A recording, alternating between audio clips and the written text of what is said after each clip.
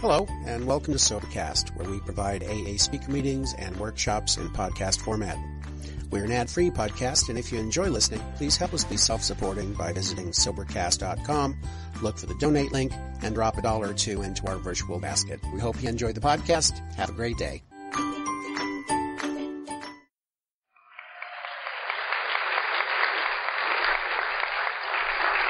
I'm Charlie. I'm an alcoholic.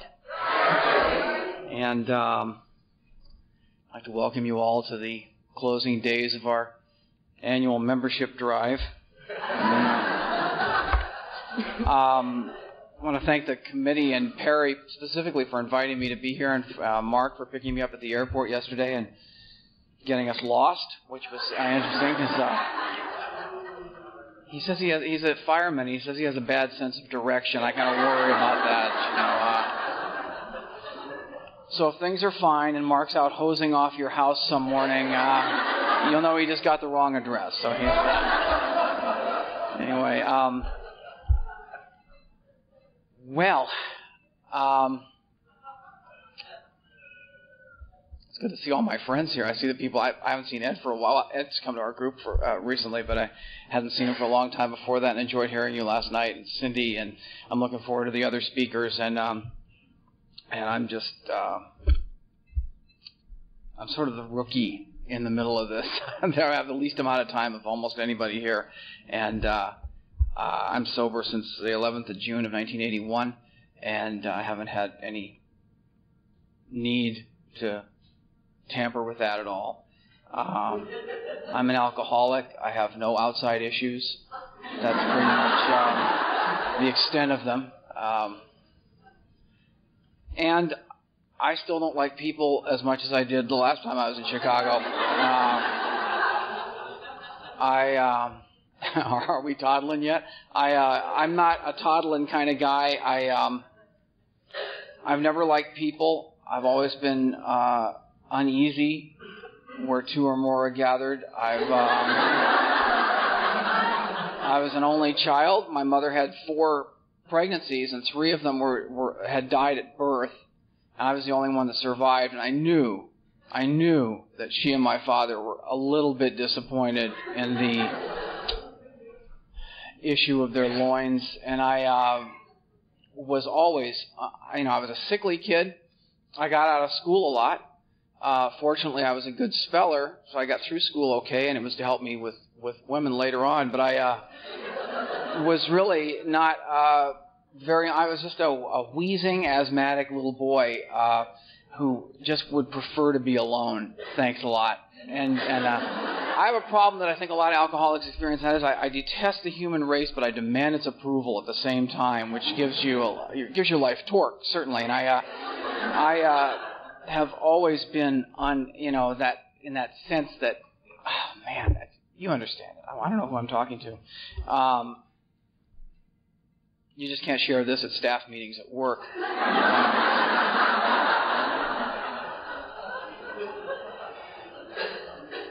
they don't even know where I am this weekend. I left early yesterday. I didn't go in yesterday, and uh, I told my boss that I was going to a function in, in Chicago, and she said, "Really, you're visiting friends?" I said, "Yeah, yeah that's a way of putting it." And she said, uh, "Where are you staying?" I said, "I, I don't know." And, um, and she said, "Are are you driving in from the airport?" I said, "I don't know." well, who's getting you? a guy in Chicago. Uh, you really start trying to back out of the questions at that point and, and uh, without lying. But AA speakers are superfluous anyway, really. Anybody who's ever spoken at an AA meeting will tell you that we're the least important people in the room.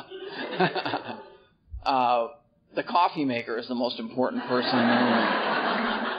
AA speakers are merely the we are merely the penicillin monitors in the, in the syphilis ward of life, really. Uh, we don't have any power outside of AA, and we, we just are here because people ask us, and we're flattered. And uh, I don't take this terribly seriously, but I don't take my I take my sobriety terribly seriously, but not this. And I will wander around, and I didn't get paid for this, so you've probably figured that out by now. And uh, um, anyway, where was I? I was a child, and uh, and I always remember feeling completely like Ed described last night. There was no, you know, there was really no reason for my feeling the dis-ease that I felt with people or things. And I was always angry and I was always disappointed, I guess, in life. Just disappointed in because I would read books. I'd read Tale of Two Cities and read how people would go to the gallows for a friend. And then I look in my neighborhood, and there's nobody going to go to the gallows for anybody in there. Uh, nobody's going to sacrifice their life, but everybody talks about humility and these virtues that everybody's supposed to have. But I'm not going to do that alone. I'm not a sucker. I can see that other people don't do that, and I'm not going to do it by myself. But I want to do that, and I want to believe that other people do that, but they don't. So I just suck it in and make nice, and they'll all approve of me and give me pats on the head, and then I can allow the anger to leak out in other areas. You know, and I walked around with that, and at, unfortunately, anger tends not to leak out as quickly as it builds up. And I was uh, pretty irritated by the time I was in school, especially with the pointed comments about my inability to make things happen. Like I'm talking about potential, which alcoholics are prone to have. It's sort of a tertiary disease. It's um, Don G talks about being crucified on the cross of potential, and I certainly felt that. Uh, I've been dragged into some of the finest offices around. Uh, teachers, priests, counselors, everybody to have with my parents in tow and have them sit down. Now my dad had a like a fourth grade education, fifth grade education. My mom got through the seventh grade. And they were very disappointed when they heard the teacher say or the counselor say, you know, Charles, looking at, they always have the folders. You know, they've always got your folder. They're going through it, and they get that look on their face, not the kind of look where they go. It was always, it's always the same look that everybody gave you. Uh, that look like, what are you thinking? Um, but I, they would always say the same thing, and that was, you know, Charles has lots of potential. We just don't understand why he's not doing anything with it. And my parents would look at me, you know, and my response to that was always the same. You know, I know I've got potential, thanks. You know I've got potential. They now know I have potential, thanks again. I'll use my potential, though, when I'm goddamn good and ready to use it. Not a moment before, when I do use it, I hope you're wearing sunglasses, Scooter, because I'm going to light you up. but until then, I would suggest you take your idiotic concern for my potential and go wipe it on somebody else, because if you were such hot shit, you wouldn't be a high school counselor now, would you? Um, it never came out in exactly those words. Uh, I usually said something like, I'll try harder. Uh, but I always felt the same way inside, and it's exactly what Ed was describing, and our stories are completely different, but it's the same disease. The guy I related to when I was newly sober, I was about, I guess maybe five or six months sober, and you can take one look at me and know that my strong arm robbery days are ahead of me. And um, I was at a meeting, and I, I was still kind of in that fog that you have when you're four months sober. Uh, that extends into your 20 years uh, eventually. But I, I was sitting at a meeting and I heard Don N talk about, and he, this guy spent 20 years in Folsom Prison, you know, for a lot of. I'll let him tell his own story, but uh, certainly not in there for just you know kiting checks. Uh, Don was in there for some pretty bad stuff. And the more he talked about himself and the way he felt in his life, I completely related to this man. I mean, completely. And my story was nothing like his. And I felt my entire insides open up when I heard this guy talk because that's exactly what I experienced.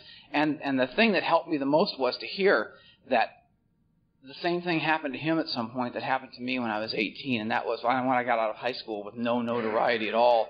Um, I wound up uh, going to a party, which was an unusual thing for me because as I understood it, there were people at the party, and uh, I'd never been to a party till I was 18 years old. I did not like parties. I knew people drank at parties. I felt like they were weak. They are. Um, I felt that, you know, I just didn't like it. Just didn't like it. I, it was one more thing I could judge. It was one more thing that wasn't like me because I am not I am not like them. I'm not like my parents. I'm not like anybody. It seemed to me there were two types of people in the world. There was everybody else in the world and me. which is a lonely promontory upon which to view things. And I also had what a lot of alcoholics have, and that is the big picture. I don't know if you've ever been struck with the big picture all of a sudden, but it's a horrifying thing, and, it, and it, it's a mixture of elation and great frustration at the same time because you get the answer to the problems in the world all of a sudden by looking at the wrongs other people do, and yet you're powerless to change them. So you do like I do, and you don't do anything. And you sit there and you ache because you want something to happen. You want something to change. I would like to affect change myself, but I can't even take. I couldn't even take my uh, my SAT tests in in high school. I just didn't have the wherewithal to even take them. They weren't mandatory at the time. You didn't have to take them, and you had to take them, but you didn't have to take them all at once. And I just never took them. I didn't understand how things worked, and I didn't want to investigate it, and I didn't want to be a party to all that. And it was, you know, here it was in the '60s. I'd never taken a drug. I'd never had a drink before, and I went to this party, and I was one big percolating knot of, of percolating testosterone, really, but because uh, that they say Ed said last night that you know your God is whatever you think about the most. so well, we need go no further than that. But I um, I uh, went to this party and and there they were, you know, them. And you know who they are? They're because they're them, and they're all doing their little thing, being being people, which is it's it's it's a curious thing. I would look at them like I'd look at lab rats. Isn't that cute? You know, that one's standing up on its hind legs. You know, and uh, uh, just watch them scurry around trying to mate and trying to eat and just f- satisfy their disgusting base urges. And there I am with the big picture, trying to hold it. You know, um, and someone came up to me halfway through the party, and, and I'd gone there with a friend of mine from high school, and and he drove, so I couldn't leave, and it was in the middle of nowhere, and there's a big Victorian house in Santa Ana, and um, somebody walked up and just said, "Here, uh, you want a drink?" And they gave me a can of malt liquor, one of those big, you know, those like 84 ounce ones. They're, they're this big around, but they go all the way to the floor, you know, that kind of a drink. And uh, I stood there looking at this thing and holding it and holding it and holding it, and the condensation dripping down. Uh, you know, I'm not going to drink this because I'm not like these people, but I'm, I'm thirsty. You know, so I took a drink and I took another drink. I took about, I drank about half that can of malt liquor, and something curious happened. I realized all of a sudden that I'd been way too harsh on you people. um, I started to feel kind of fond of you. I don't know why. Um, the big picture could just sit off to one side for a while because I'm sort of grooving on what's happening in this room. At the bottom of that can of malt liquor, I was in full Irish flight. I was. Uh, the poetry was coming out of me. I was, I was uh, uh, just this tender mixture of, of, of William Powell and David Niven and Errol Flynn with a with a healthy dose of John Lennon stuck in there, which is really hard to pull off when you look like Sherman from the Mr. Peabody cartoons. But um, I was I was giving it a go, and I was I was filling out my skin and my soul as I was standing there. I, that's the only way I can describe it. I didn't care about the way I felt before I got there. I just felt absolute, utter relief on a can of malt liquor. Relief from, from 18 years of stuff. All of a sudden, I have a can of malt liquor, and I'm feeling complete relief inside my soul and feeling happy and joyous and free, which is what alcohol does for alcoholics. And I didn't know at the time that it doesn't work that way for 95% of the population.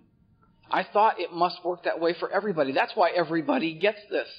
That's why everybody drinks alcohol. That's why it's legal. That's why there's a liquor store on every corner because it makes you feel like a human being is supposed to feel and not this brittle dick that you are before you start drinking. It just, you know, ah, oh, God, I feel I need another can of malt liquor. And um, I, needless to say, I, I drank quite a bit that night and wound up uh, running alongside of my friend's car as he was leaving. I didn't want to go, you know, and he's pulling away. I got a hold of the door handle. I was coming out of a blackout, and I remember throwing up on myself and just laughing my ass off because I'd been to the mountaintop, you know.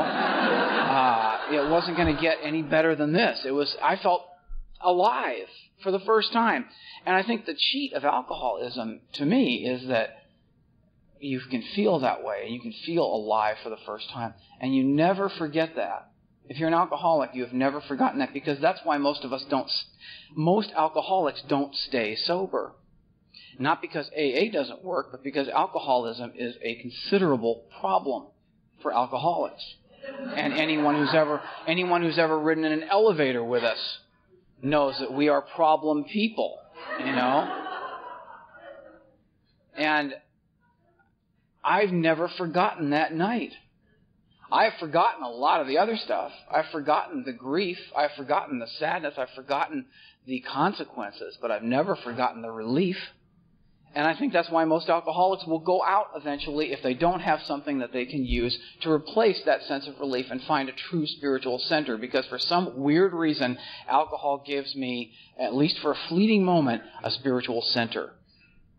At least a, an illusory one. One that doesn't really exist, but it is to me. It does to me. I used to teach a uh, high school for for years when I was sober, and um, and we used to have to do an alcohol awareness week, which was always a joy. I hated it because the only kids who were really interested in alcohol and drug awareness were the ones who had no problem with it. Because the ones who had a problem with it, it wasn't about them.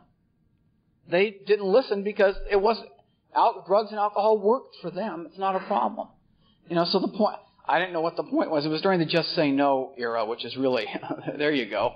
Uh, an ounce of this will make you feel like a human being for the first time in your life. Oh, I don't think so. Thank you. Uh, I think I'll just sit over here and suffer in silence. Uh, jelly beans, anyone? Uh, I was, um, but that that's how it happened. I, I was I was in an AA at my home group one night, this is probably 10 years, 15 years ago, and I was sitting there and they asked for the hands of the new people in the room, and people were raising their hands, and I'm looking around, and, and the and the two women in front of me raised their hands, and they start looking around with their hands up, and, and they turned around, and it was two of my students from high school, and they both looked at me with this sense of shock and horror, and you could just see the wheels turning, and then they had this look that said, if you don't tell anybody, we won't tell anybody. And I'm gonna, how you doing, girls? They go, hi, Mr. Carney. You know, and they turn back around. I'd see them in the hallway, and we'd go by and go, you know, no comment. It was great because we're everywhere. We are everywhere. People have infiltrated uh,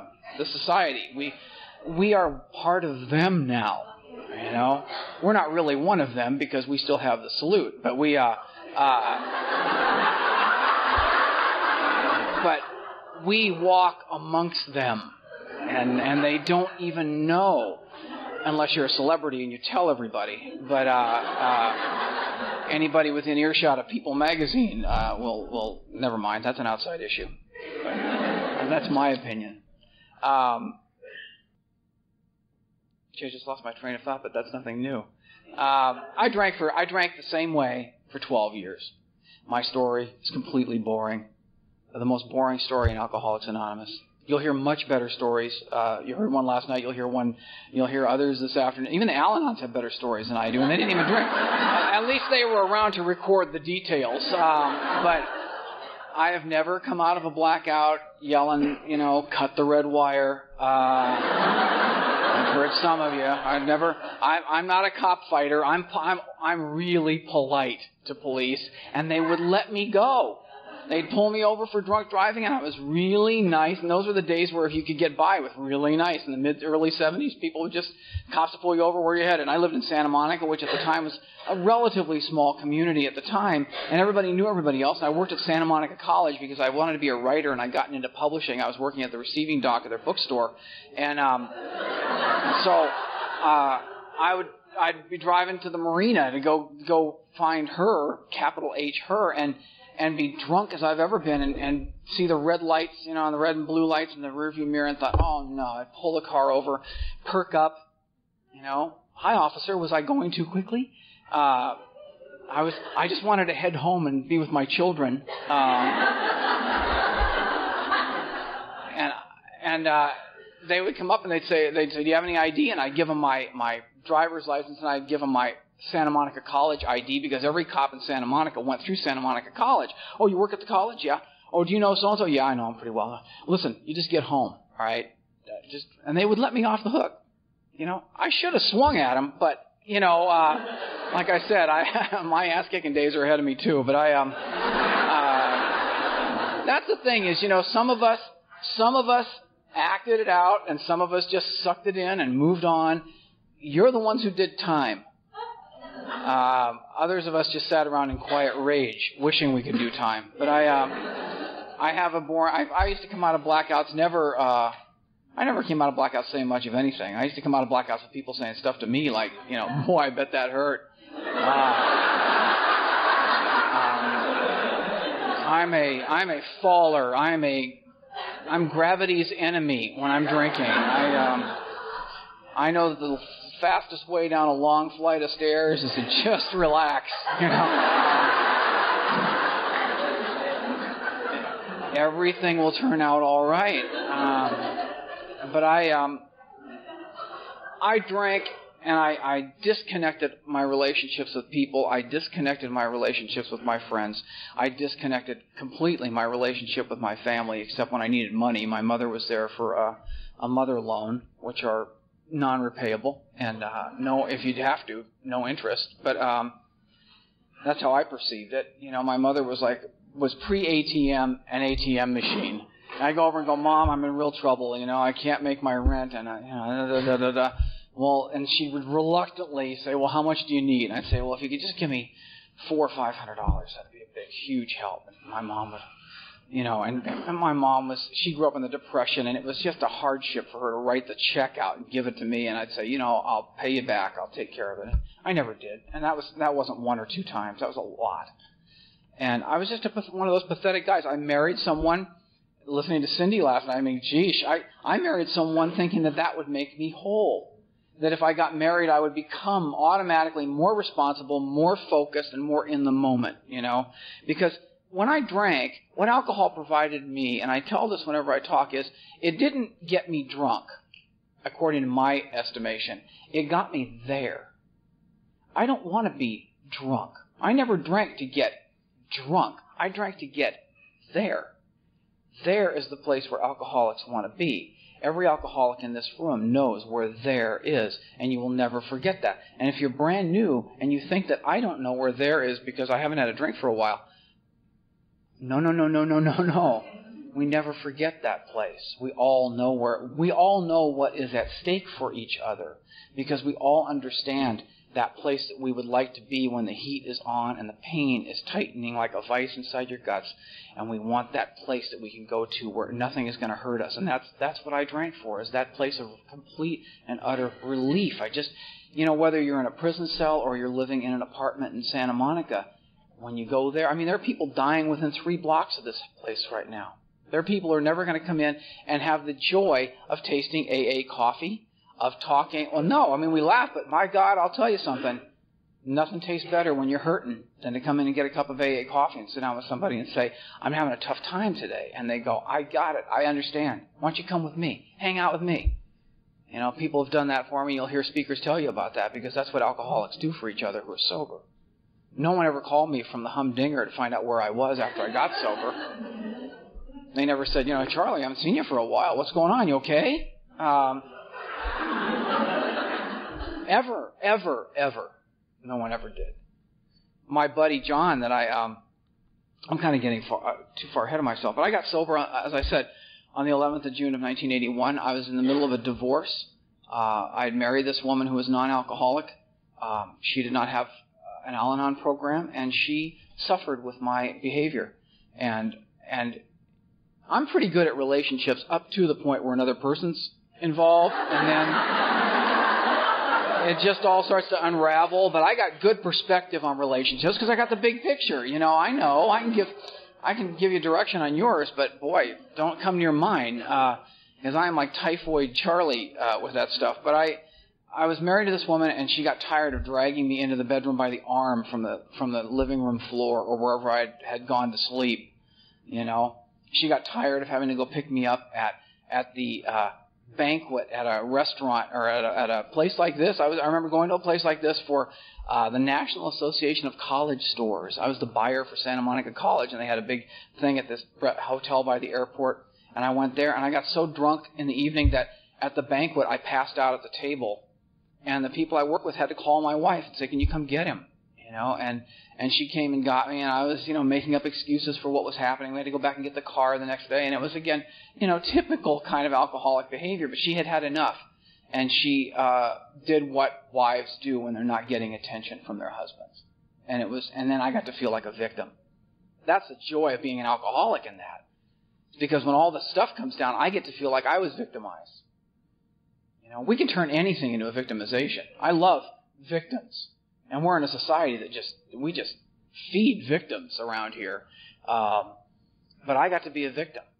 I remember my parents, uh, this is, here's another illustration of, of alcoholic thinking, I think, and that is that my parents asked me one time. My parents, my dad was a carpenter at McDonnell Douglas for 25 years, and my mom was a housewife, and they didn't have a lot of resources, but we always had a house and a place, you know, clean clothes and food and stuff but uh, it was never enough for me. It was never the right clothing. You know, everybody else had Levi's. I was wearing the Lee Riders, and um, I always felt awkward and, and out of place and not part of, like you know, the white trash complex. You know, except not exactly like that. But my parents said, "What?" Trying to cheer me up one time because I always looked like the assassin, the potential assassin in family pictures, you know. And uh, we'd have a big group photo at our reunions, and there I'd be in the back, just kind of glowering. Um, it's always I look at them now and it's like the one that they will call out if I ever assassinate somebody. Uh, they'll they'll show that picture with the highlight on that part of the picture, you know. Um, so my parents said, uh, "So, um, if you could play a musical instrument, what would you like to play?" And I said, "Piano." because I knew the likelihood of playing of getting a piano at that house. I could have just said I want to be a Mercury 7 astronaut. I would have been, it would have been that likely that they would have brought brought a Mercury 7 capsule into the house. So I said a piano, you know. Try to trick me. And uh, I'm not a trombone or trumpet or clarinet or recorder kind of guy. I want a piano. How's that? And, and they didn't say anything after that. Well, about six months later, I came home right before Christmas time. I was about maybe 11 years old, 12 years old, and there was a brand new Kohler and Campbell piano in the living room with a big bow on it. My parents had gone into Hock to buy this piano for me, and I looked at that piano, and my first reaction was, "What are you thinking?" I didn't say I wanted to learn how to play the piano. I said I just wanted to play the piano. Don't you get it? I don't want to sit down and play lightly row and do finger exercises and that crap. I want to sit down at the piano, pop my knuckles, throw the key cover back, and play the piano to the point where women in the room begin to perspire with fondness, and the men in the room get irritable from jealousy while I play the piano. Then when I'm halfway through the song, I'll just stop, close the key cover, throw my jacket over my shoulder, saunter over to the bar, get a double, and wait until the best looking dame in the place comes slithering through the crowd, gets right up next to me, grabs me by the back of the pants and the lapel, and says, I want you now. and, um, and I would say, no. Because, you know, chicks dig the tension, I guess. Uh, I never found out, but I, I'm assuming. I've heard. Anyway, um, but I didn't want that piano. But you know, three about a year after I'd gotten it, you know, I cleaned the I cleaned the piano, polished it. Sort of a metaphor for my whole life was poli- I've been polishing my piano for years. But I uh, um, I polished the piano and play with the, you know, the seat had a little, you could open it up and put stuff in it. That was cool. And, uh, but I never played the piano. And then about a year and a half later, they sold the piano. I came home one day and it was gone, and they sold it just when I was about to learn to play the piano. They have no faith in me. That's the problem. They don't believe in. That's what I read it as. We can turn anything into victimization. I can. And I carry that around. My parents don't believe in me. My teachers don't believe in me. Nobody believes in me. I guess I'll just have to suffer by myself. And someday I'll write it all down and they'll go, oh my God, if I'd only known, I would have slept with him. But, um, so I, that's how I felt. And I went to therapy, you know, my, my ex, my first ex-wife, I'm numbering them now, but, um, uh, my first ex-wife, uh, got me to go to therapy and I was in therapy for two years. It wasn't going very well. I was still waking up peeing blood. Um, I was still yellow-eyed. I was still well beige-eyed. I wasn't quite yellow-eyed. It wasn't. It wasn't that dramatic of a thing. Uh, I was just a mess, and and we were. Then we decided to get a divorce, and I, I went to a meditation retreat when we were in the middle of this divorce thing. It was, and it was a therapist who was holding this meditation retreat, which is, yeah, you're laughing. Yeah, you, meditation retreats are great for people who meditate. Um, for a practicing alcoholic, um, it can be a little nerve jangling. I, um, it's hard to be around people who speak in really well modulated voices when you feel like someone's piercing you with with stick, you know, hot sticks. And I um, I went there. I'd been drunk the night before. I've been trying to impress a bunch of teenagers at a McDonald's that I was a college professor. And the one kid got up, and I remember he walked by me and he looked at me and said, "You're just a drunk." And he, they all laughed and walked out. And I, I was just felt like a piece of crap again, you know. And um, so I went to this meditation retreat the next day, and uh, I thought they might have some sacramental wine or something there. No, just tea. They had tea. They didn't even have coffee. They had tea. Herb tea. There wasn't a stimulant within 30 miles of this place, you know? And you couldn't just sneak out because you had to park like eight miles down the road and then go back up to the meditation place. And I was, I thought, you, you know, my first reaction was, I said, well, we have some tea if you're interested. And I said, well, where, do you have any, any wine or anything? Just kind of, they said, we don't have any wine up here. And I thought, good Christ, you don't have any wine up here? You know, because I was coming off this night before and, and I was restless, irritable, and discontented at that point. And, and they had the next morning, you know, the next, that afternoon they had a, uh, a, a guided meditation and I'm in the middle of that thing and thought, I'm just going to blow my brains out. That'd be a lot easier. than this, because she would play this soft music and, and we would lie on the floor, you know, all of our heads together on the floor like a big pinwheel. And uh, she would say, and she was, this is, now let me tell you something. This, this therapist was a wonderful woman, a wonderful human being, and a very competent therapist. The problem therapy has, and Scott will talk about this too, uh, is that it doesn't work on alcoholism.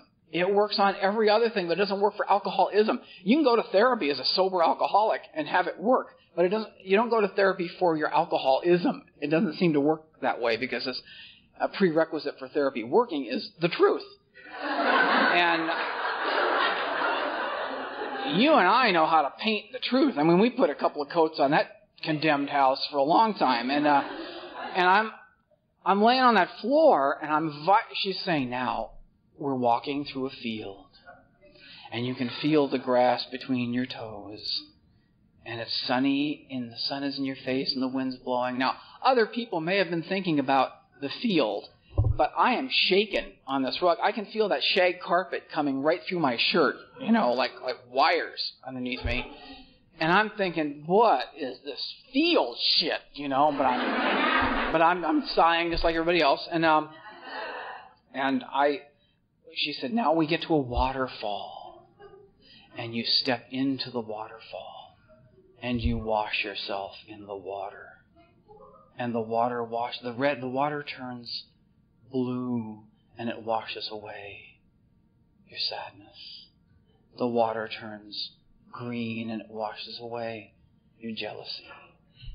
The water turns red and it washes away your anger. You know, we're going through the entire Fuller paint catalog uh, with this water washing away all this stuff, and I am not buying it for a minute. I mean, it's like, come on, I can't. Okay, waterfall, waterfall, waterfall, waterfall. And then she said something.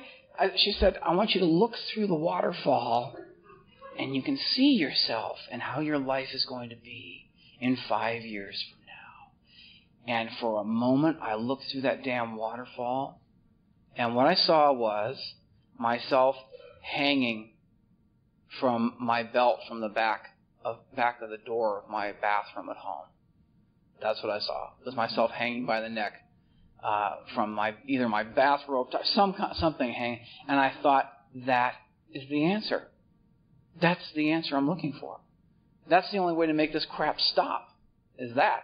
And it wasn't a dramatic revelation. I think most people, when they think about suicide, I mean, I, I was at a doctor about a about a year and a half ago, and my own physician said, because I was going through something, I'll talk about it in a second, but he he said, uh, "Have you ever thought about killing yourself?" And I thought, well, duh.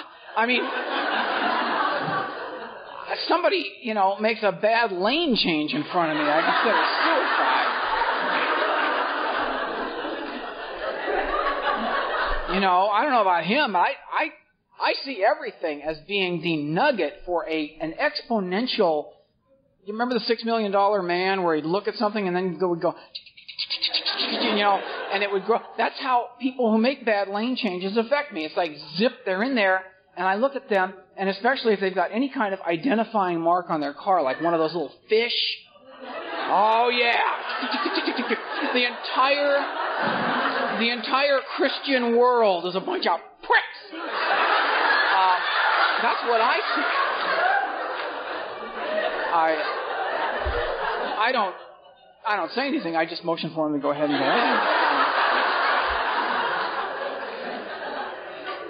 I was with Mark yesterday. Some guy cut, some guy in a big truck cut us off. Mark's laying on the horn, and then we're driving along. I thought that he was pretty cool about that, you know. And I didn't say anything, and he didn't say anything. And he goes, you know, if you weren't in the car, I would have chased that guy.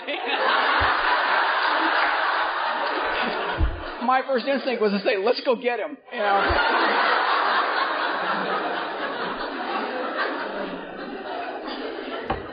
Then I realized I'd be leaping out of the car, a 54 year old man, ready to face down some guy in a pickup truck. But uh, anyway, uh, but that's what I saw. So I went out after that retreat. She said, I want you to go out on the retreat grounds, for the next five hours, the next five hours, I want you to wander around the retreat. And it was a beautiful retreat place in Montecito, California. And uh, wander around the grounds and think about your life.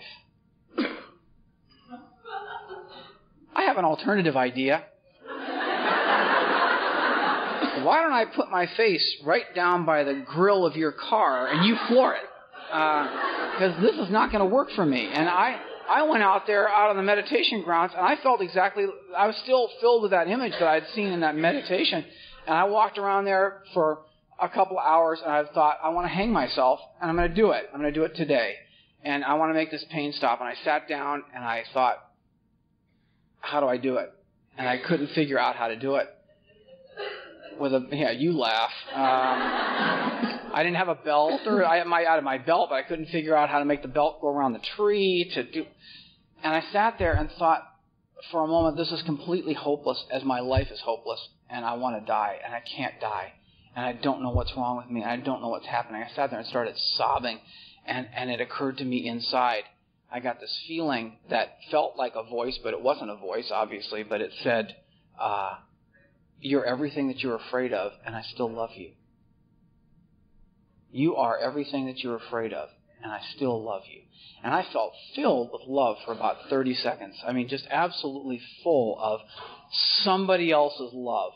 Certainly didn't come from me, or it, felt it was in me, but it didn't. I don't know where it came from, and I sat there. I know where it came from now, but I sat there and just really felt confused at that point, and just sat. I sat and cried for about an hour. I didn't know what was happening to me. I thought I was going insane.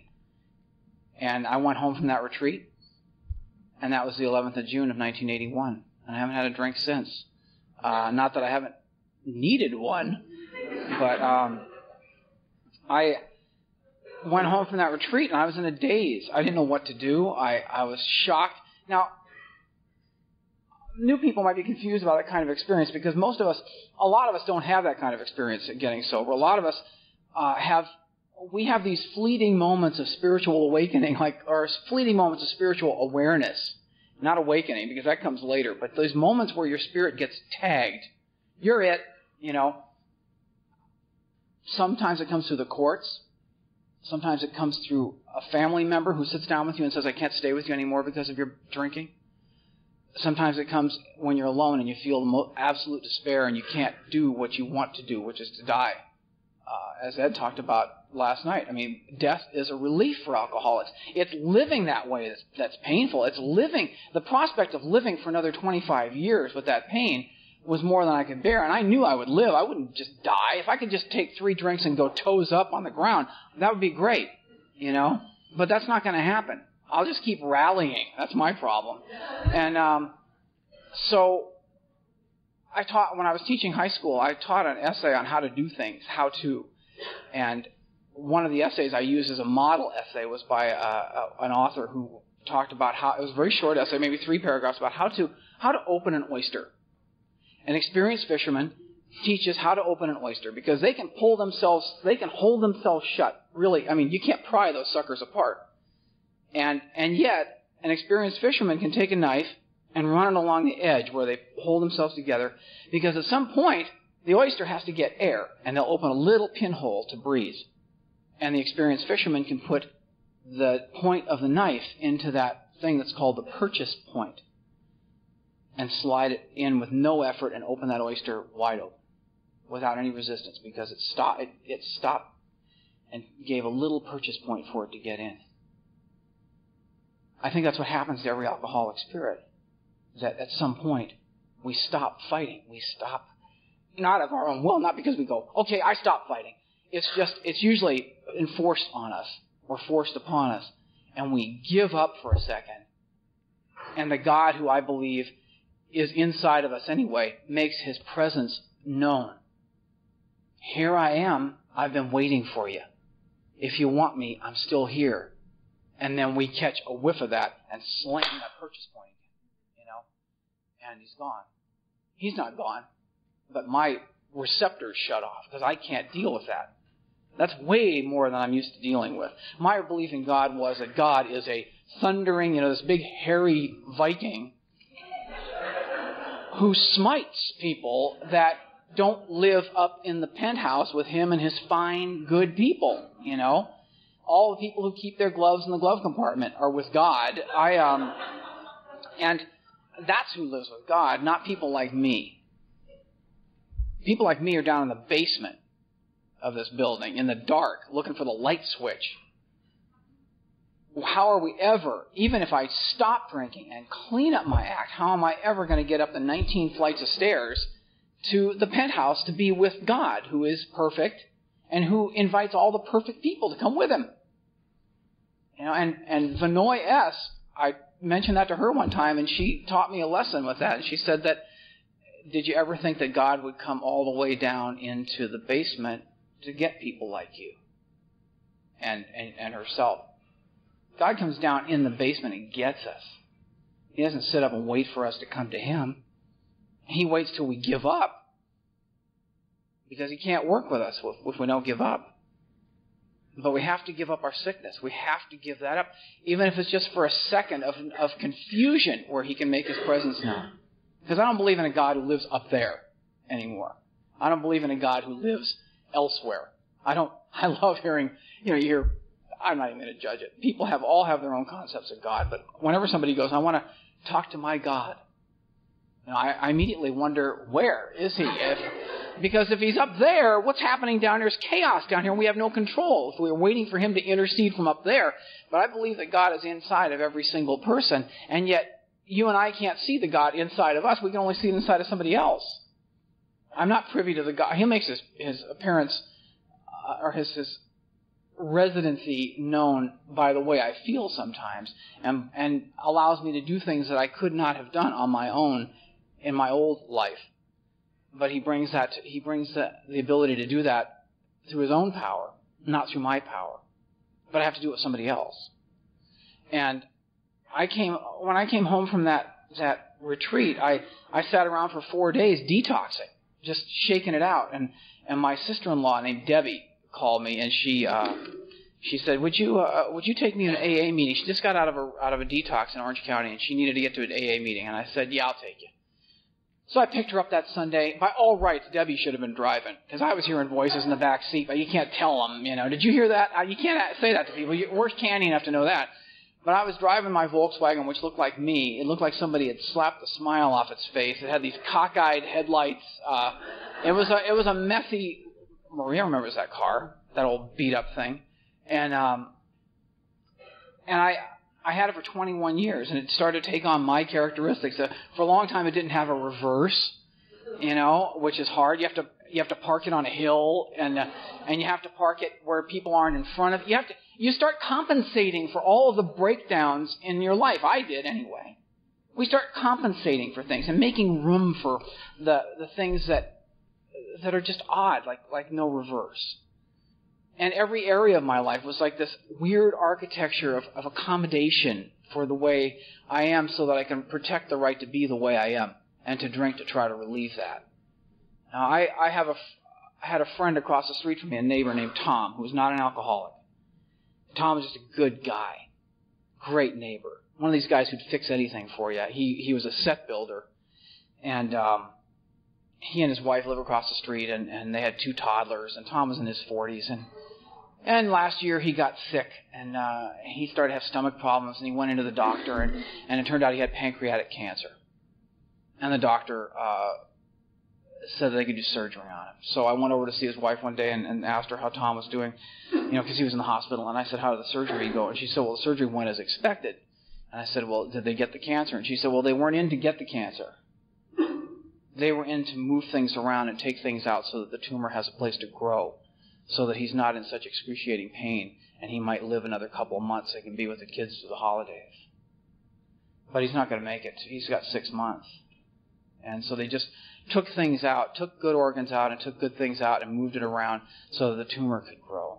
And I thought, you know, and I'm not, I'm not trying to trivialize this man's death and his disease by comparing it, but I think alcoholics, alcoholic, the disease of alcoholism does the same thing inside of us, and that is that we move everything around to try to accommodate the disease so it can grow. We shove everybody out of our lives. We slap people back. We push away help. We defy everything to try to have that right to sit there and just try to find that moment when when I was there. You know, when I was there and it was all going to be all right. And I couldn't find it anymore. I mean, I could find it momentarily, but not for any period of time. And Debbie was picking me, and I picked Debbie up that night. And 22 days sober in the car. It was a 20 minute, 25 minute trip to this meeting, and she 12 stepped me in the car. And um, the woman who who saved my life had 22 days of sobriety. So if you're one of these chumps that thinks that you can't talk to anybody because well, I'm only in my first 30 days. Think again. That woman, if had it not been for her 12 stepping me, I would not have made it. I wouldn't be here. And she she gave it her best shot. She actually, I was pulling up to the curb and said, "Get out! I'll come in late. I'll come get you." In an hour and a half, and she convinced me to come into the meeting. You know, and, oh God, I did not want to be in that meeting. Ew, ew, ew, ew. I still had potential. I did. Um, I I had great sympathy for you who didn't have it, but I had it, you know, and and yet I stayed, and, and I got irritated when people would come up. You know, I'm in the back of the room with a deer stalk. What happened all of a sudden? We start channeling Jimi Hendrix. all of a sudden, sudden, sudden. sudden. Um, uh, Dick Dick slumped over asleep at the. At the uh, so, you know, people would come up and say, "Are you new?" And I'm in the back of them, deerstalker hat, sunglasses, tweed jacket. I was in my writer's costume. Um, shoulder length hair, batting away the imaginary gnats that get in your peripheral vision sometimes when you're when you're drying out, and uh, and I get irritated when people would walk up and go, "Hi, are you new?" I would go, "No, I'm not new. I got four days without a drink. I haven't had a drink for four whole days." so I'm hardly what you'd call new. And they laugh like you did, which made me more irritated. You know, to me, new is drunk when you cross the threshold of the meeting. That's new. I got four days and I haven't had a drink. That was the hardest four damn days of my entire life. So I would appreciate it if you would wipe that little smirk off your face about me being new. I'm doing the best I can. Thanks. And I went out for coffee with her and her and all of her all of her fellow graduates from this care unit, you know, and they're all yakking in numbers. You doing two? I'm doing four. You doing four and five? I got to do six and seven. And just sitting there at the at the coffee, you know, boy, these people have got nothing to do, you know, and, um, and you know, you get the the twitches and the and the un, and then the uncontrolled crying. I'd drive to work, and a seagull would go by the car, and I'd have to pull over.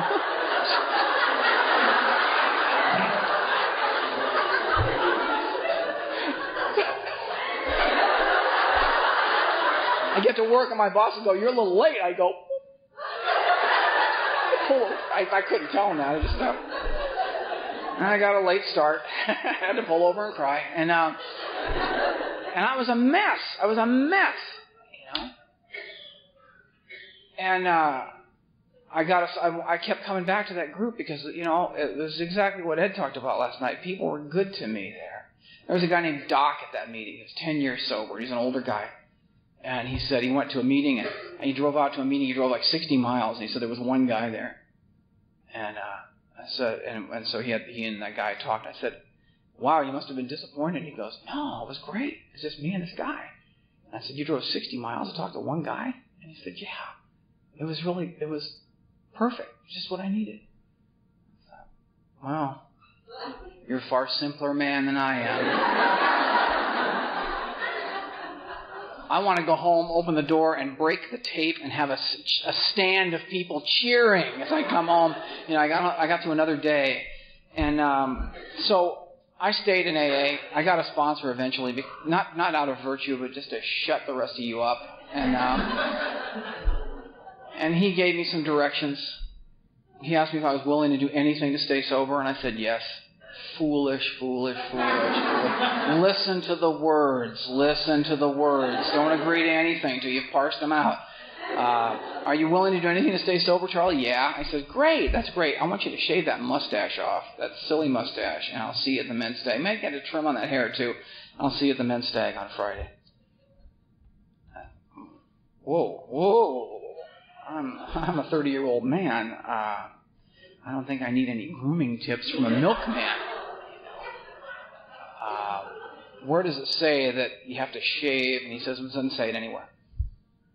I said, well, where is it in your big book? And, uh,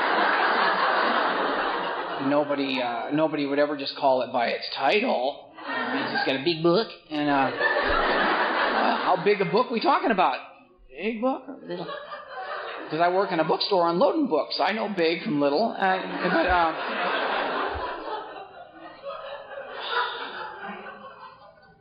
and I wasn't impressed with the Jay Walker analogy. But I, um, because I had a journalism degree at that point, and um, which which I had in a drawer someplace. But I, uh, I, I start. I said, "Where is it in the book?" He says, it's "Not in the book. It has nothing to do with Alcoholics Anonymous, really." He says, "I just you just said 30 seconds ago you're willing to do anything to stay sober, right?" I said, "Well, yeah."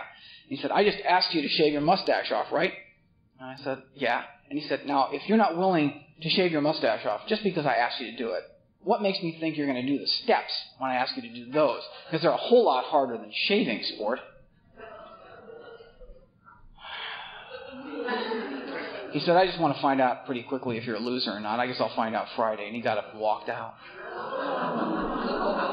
I can't even tell you how angry I was. How I can't even because I mean I was by that time I was about about 45 days sober and I felt like I can't go back. I'm I'm stuck.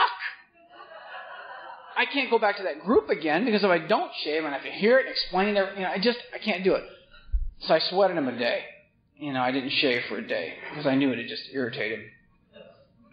I don't know how because I didn't see him that day, but I. Uh, and then uh, the next day was Friday, and I was going to see him at the stag that night. And I got, went in the bathroom that morning, and just the same way that I felt about that purchase point, the same feeling I got inside, uh, said, "If you fight one more thing, you're not going to make it. if you fight one more thing, it's not going to happen.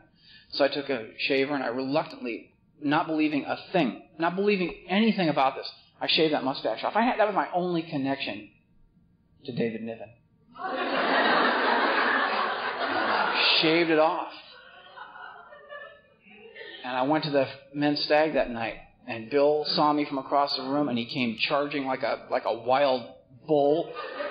And he got his arm around my shoulder. He's about six foot six, and he put his arm around my shoulder and said, "Here we go, sport." You know, and he's been my sponsor ever since. And uh, he's walked me through the steps, not sitting down, and we've never sat down and done the formalities of the steps, except for the fourth and fifth. We've done. He, he just said pretty much, this is where I'm stepping. Walk in my footsteps. He was at every meeting. He went out for coffee with everybody. He did everything that people asked him to do. And I had to do the same thing. And at about six months sober, I wasn't feeling anything. I wasn't having a surrender. I wasn't feeling any spiritual awakening. I was just being, I was just a sucker for AA because I was making, I wasn't making coffee. I was washing coffee pots. I was the literature mule Wednesday night. I got to carry literature in. I couldn't sell it because I didn't have enough sobriety. I could just carry it in for the guy with the bad back. And he would sell it, and then he would dismiss me when I bring it. I put, I bring the box in. Here you go, and he'd go, "Oh, that's great. I'll see you. Come back right after the meeting, right after the Lord's prayer. Come back here and pack it up." You know, and I, I did that. I did all this stuff. I'm mopping floors, you know, because I'm Irish. We're built for that. And um, and doing all this stuff, and and and I'm not getting anything out of it. And I'm not doing the steps. I'm not working the steps because I heard people they're working the steps, working them, work, work, work. You know, I'm.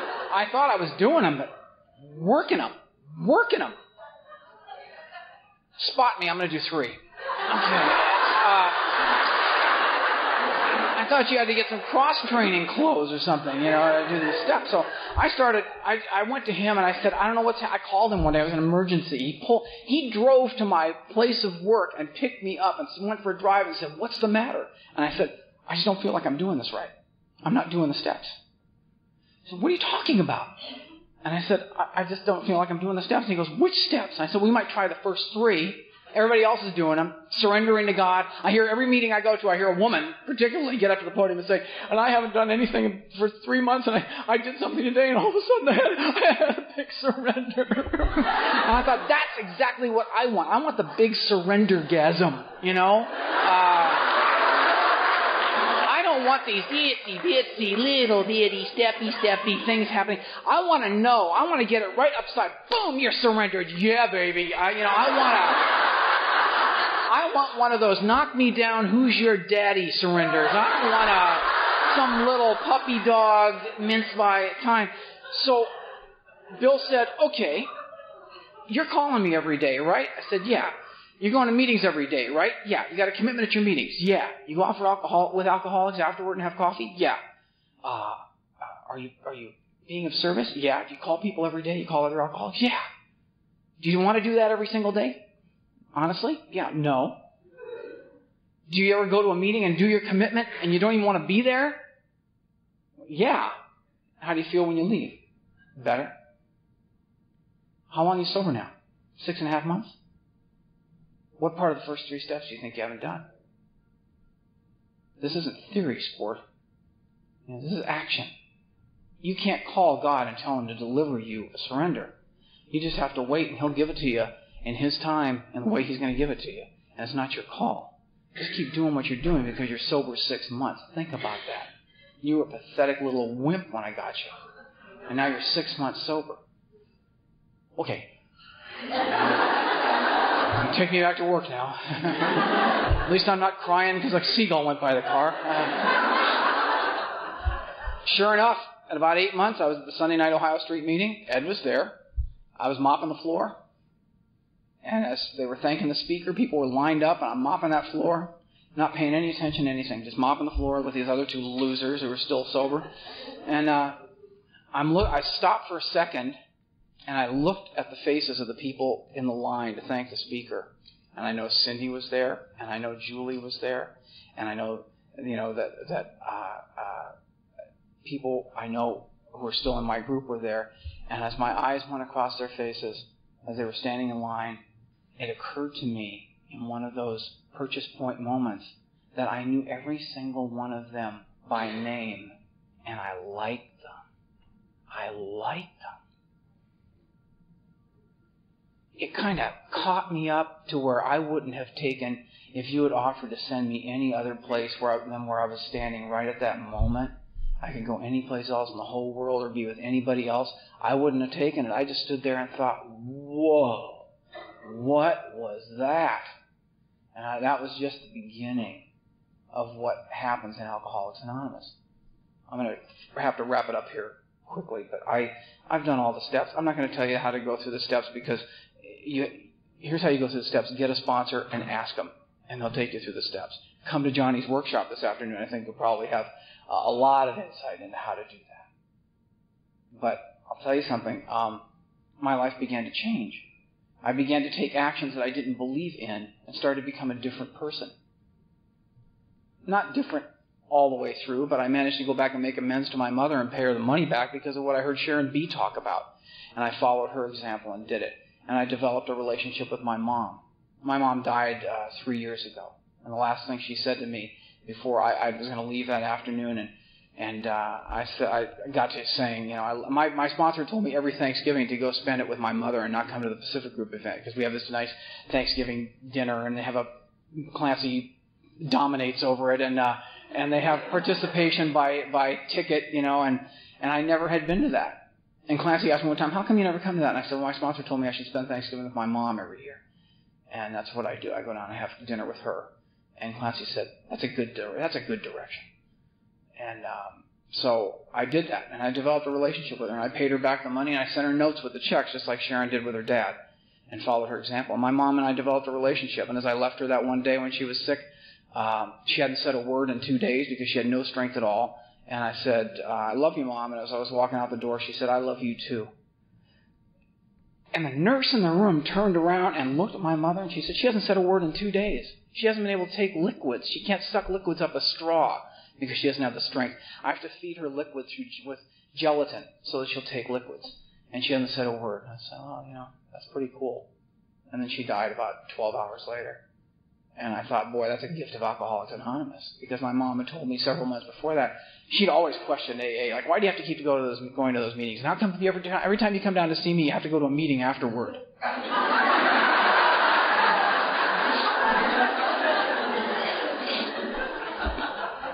but I brought her to our Wednesday night meeting, and, and she met all the people. Every, she met everybody at my Wednesday night meeting, and she started to like AA. And she told me several months before she died, she said, "You know what? I think that AA thing is the best thing you ever did. That's coming from my mom, you know."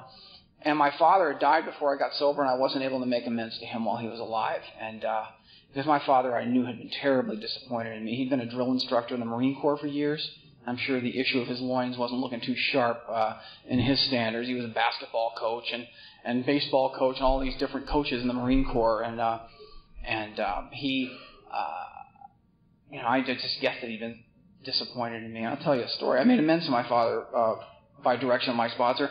I was at an Al-Anon conference with Maria one day, and we'd gone down there in separate cars, and I was driving back, and I I was driving within about a mile of where my father is buried in Cypress at the forest lawn there. And I'd heard Clint H. talk about his mom a few months before, and I just thought, I've been putting this off for too long. It had been 10 years. I, my, I'd been 10 years sober when this happened. I, my sponsor told me when I was a year sober to make amends to him, but I never did. And I finally pulled into the forest lawn. I did exactly what Clint said. I went across the street. I got scissors. I got a carnation because my dad loved carnations. I got some Windex, some paper towels, and I went back and I found his grave, and I cleaned it up a little bit, and I sat down, and I talked to him. I told him about you. And I told him about my life. I told him I was, I was a different person. I was teaching high school at the time, and I've gone on to a different career from then. I'm actually, I write now for a living, but I was just telling him at the time what was happening with me and how I missed it with him. And I was sorry that I missed it, and I was sorry that I didn't pay attention to him. And I'm sorry I didn't watch him work in the garage and make things with his hands because he was a great craftsman, and I never paid any attention to it at all you know. And uh, I was sorry about that, but I was living my life better. And I walked out of there and nothing nothing changed. the sky didn't open up or anything. I just drove home and I realized about three months later I was talking about my father to somebody. I didn't feel guilt anymore. I didn't feel embarrassment, and I didn't feel like he'd been disappointed in me. And what had happened was, and this came out in my inventory. My dad, from the time I was in about the tenth grade till I, or ten years, seventh grade to the tenth grade, he got up every single morning. As I said, my parents had no resources, and he would make lunch for me and he would take that lunch and he'd make a sandwich and he'd get my favorite fruit or whatever it was and he'd put it all together and he'd put it in a bag and he'd write my name on the bag with his very always I remember his handwriting and he'd set it by the front door and then he would go off to McDonnell Douglas for the day. He went to that job. He never called in sick at that job. He worked at that job for 25 years and never took a sick day. And uh, I would get up I'd walk out, grab that bag on my way to school, and as I crossed the property line at school, chunk in the trash can that bag went. I just kept walking. Every time I did that, I had a little bit of guilt that kind of tightened up, you know. But I never paid any attention to it because it was imperceptible. But I did that every day, every day for years. And so after I made amends to him, I um, I was feeling kind of emboldened by it. So I sat down with my mom at the kitchen table and I said, you know, I used to throw my lunch away when Dad would make it. Uh, I threw it away for years. I need to tell you that because I was just an ungrateful kid. And she said, Well, I know. I know you threw it away. I said, How did you know I threw it away? And she said, Well, your dad told me. We talked about it. And I, I said, Well, if he knew I was throwing it away, how, how, how come he kept making it for me? How did he know I was throwing it away? First of all, she said, Well, he'd ask you things like, How was your apple? How was your apple? I'd say, It was great. It was an orange. You know? Was that jelly okay on the peanut butter and jelly? Because I don't know if you liked the, the strawberry jelly. It was perfect, yeah, and it was bologna. You know? And and he would ask me questions, and he knew I, every day I was throwing it away because every time he asked me, I gave him the wrong answer. And um, I said, well, if he knew I was throwing it away every day, why did he keep giving it? Why did he keep making lunch for me? And my mom looked at me across the table, and she sort of half smiled, and I got it at that point. And it was pure love. It was pure love. He wasn't disappointed in me at all. He adored me. He tried to show it through that. He showed it through a lot of different things that I was too, you know, just went right past me. Because I had what I want. I had a God of my expectations, you know. I didn't have a God of my understanding. And so, if you're new here, that story is just an example of what kind of love you find in Alcoholics Anonymous. Because the nutrition is here. It's served up in awkward ways, but it's always served fresh. It's nutrition for your spirit. If you choose to throw it away every day, that's okay. Come back tomorrow. We'll make it for you again until you want to take it. But just because you don't want it doesn't mean we're going to stop making it. You know, that's what we're here for. This is what this fellowship is about. We're not a 12 step program. We're a fellowship of people, of men and women who share their experience, strength, and hope with each other so we can stay sober. I have two little kids of my own now. I had my son when I was 49 and my daughter when I was 50. And uh, people in AA have taught me how to get through a divorce and how to still be a father, how to be attentive to my children. I, I brush my kids' teeth for them. My daughter asks me after I'm done brushing her teeth to smell my teeth. Daddy, smell my teeth. I have to give her the, you know, okay, I'll give him the check. They're perfect. I told her on Thursday, I said, I'm going to Chicago tomorrow where there's going to be, it's going to be cold there. And you know what? And she, and Rose looked at me and she said, you're going to miss us.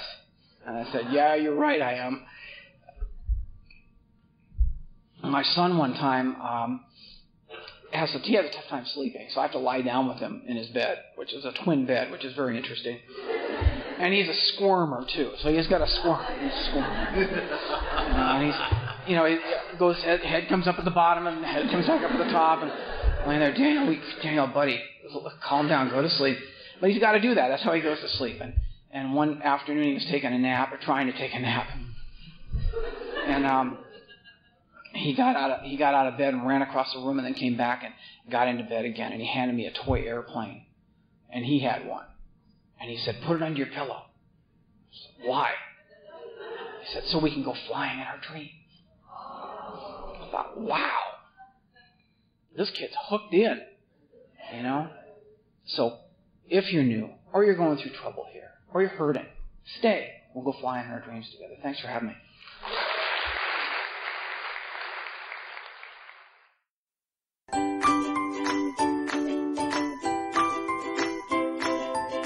Thanks for listening. I hope you enjoyed the podcast. Sobercast is ad free, and we'd like your help in order to keep it that way. So if you'd like to help us be self supporting by pledging a dollar to a month, visit Sobercast.com and look for the donate links. Thank you very much.